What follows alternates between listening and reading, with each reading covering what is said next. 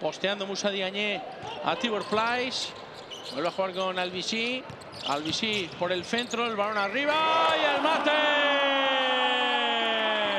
de Musa Diagne con la conexión de Andrew Albisi. Jugando ahí ese pick and roll.